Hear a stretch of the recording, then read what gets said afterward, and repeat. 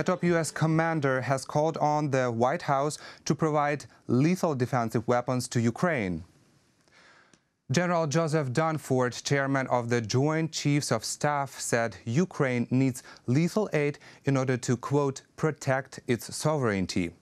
In his testimony before the Senate Armed Services Committee, he said that a quote, a gap was detected by the Pentagon during the re review of Ukraine's defense capabilities against Russian-backed separatists in Donbass. Dunford said he, quote, made the recommendation to send lethal aid to Ukraine and the discussion has reached the White House. Now it's up to the Trump administration to sign off on providing lethal aid.